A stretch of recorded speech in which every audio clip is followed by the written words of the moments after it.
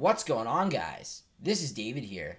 Wow, it's been a long time since I said that. Today, I'm going to show you guys how to get the PP Jailbreak app from the App Store using this Burner Apple ID so that that way you can have a permanent method to boot back into jailbreak mode on iOS 9.2 through 9.3.x.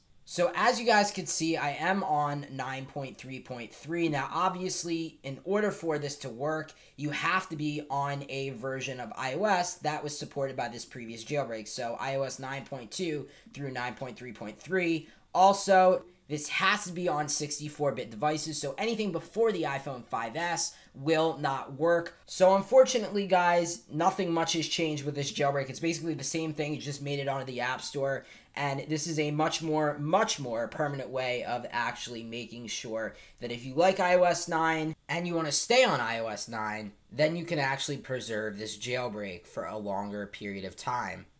This PG Client app is nothing really new. It was on the App Store for about a month, and then it was before the jailbreak community had heard of it. And then, as soon as everybody knew from the jailbreak community, it lasted about a day before Apple went and pulled it. So, because Apple went and pulled it and it's not available directly on the App Store anymore, we have to use this burner ID. Now, this burner ID was created for the sole purpose of downloading this app called PG Client. So, without this Apple ID, if you go into the App Store and you search for PG Client, if you even get a search result to pop up, it's not going to be the one that you want. And it's not going to be the one that has the PP jailbreak application actually embedded inside of it. So it's not going to be the one that we want. And the way that we get the one that we want is to actually go and use this burner Apple ID. So again, it's just the way it is.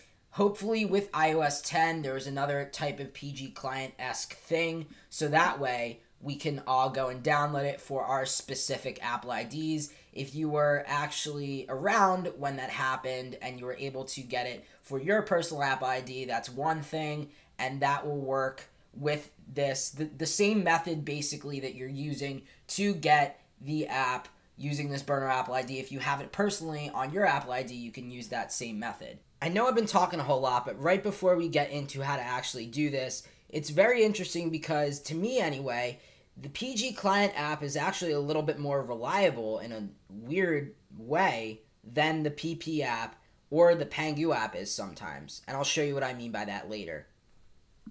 So now what we need to do is we need to go ahead and actually open up the App Store. And once we're there, we're going to go ahead and scroll all the way down to the bottom to where we see sign in. If you don't see sign in, you already have your Apple ID signed in. So sign out and then sign in using an existing Apple ID, and then you can go ahead and type in the Apple ID username, which is toiletpod at iCloud.com, and then the password, which is 2016 do capital N, capital O, capital T, and then the rest is lowercase, use iCloud.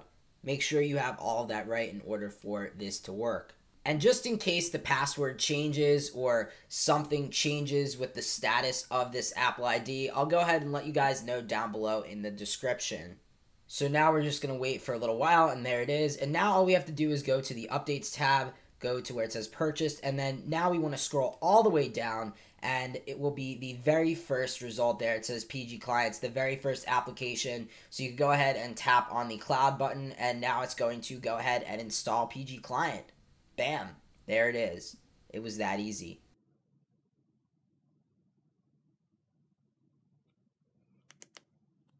So now it's on our device, and you guys can see if I tap on that, it opens up. It says PG Client would like to send you notifications, so we'll go ahead and press OK.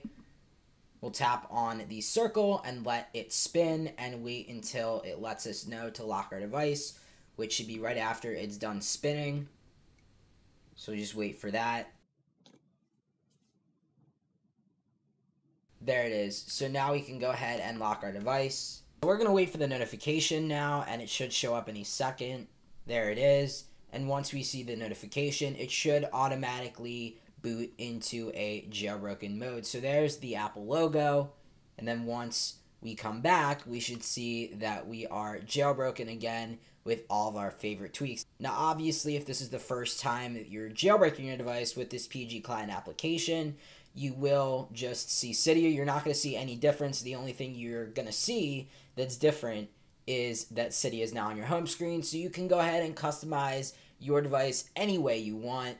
And you have the freedom to do that now. So that is super, super cool that we got this jailbreak from the App Store. It's just mind blowing that Apple just didn't check at all. They just really let in any app, they just didn't care. So I really do wonder kind of the technology that was behind this. Um, they really did try to, like, I guess, make a lot more fluff inside of the application. Uh, obviously, the screenshots were faked so that they could get into the App Store, but it's just crazy to me how they would let an actual jailbreak application inside of the App Store, like a application that actually jailbreaks their phone. Like the fact that they let it in the App Store for like a month is crazy. So we're back in the non-jailbroken mode, and really quick, I just wanted to show you, now I'm going to use the Pangu app to actually reboot into a jailbroken state. Now, the difference between all of these apps is the Pangu app only gives you until April of 2017 at this point to use it. At the rate that we're going for the iOS 10 jailbreak, we might have to use this for a bit longer than April 2017.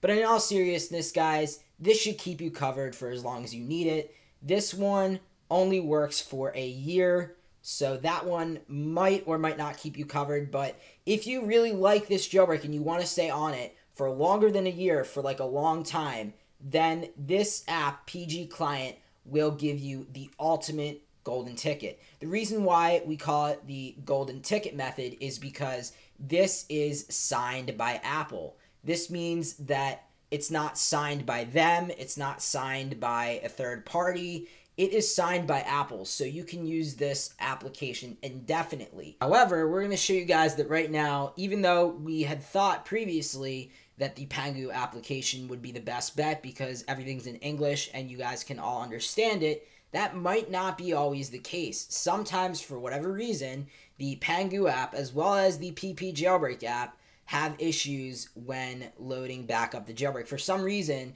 like the issue that I'm getting right now, it will reboot the device and it'll, or maybe not reboot, but respring the device and it'll look like it's going to come back up in a jailbroken state, but instead it just does absolutely nothing. So you're kind of wasting your time at this point, um, you know, with this.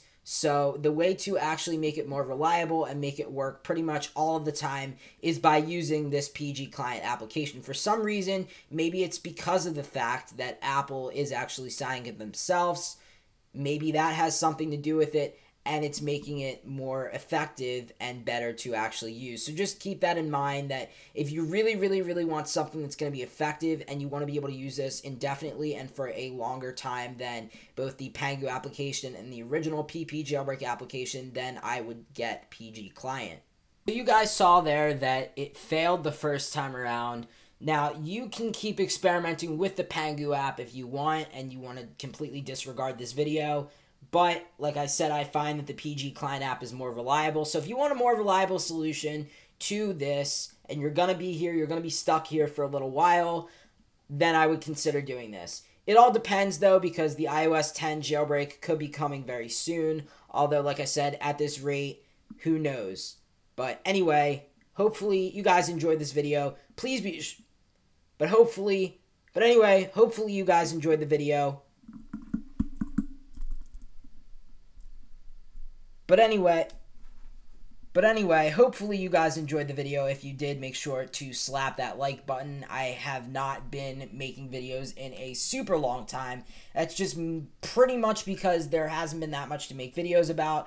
I'm trying this video out without an intro or an outro, so it's going to be a little bit weirder than normal. Um, I'm still going to do the regular outro, but no music, none of that stuff. Uh, but anyway, guys, like I said, please be sure to like, comment, and subscribe. Go ahead and follow me on Twitter and the rest of my social media, which is down below in the description. And until next time, guys, this is David signing out. Peace. Wow. All right, well, I guess this is a good video to come back on. Hopefully, when I come back, we will have an iOS 10 jailbreak.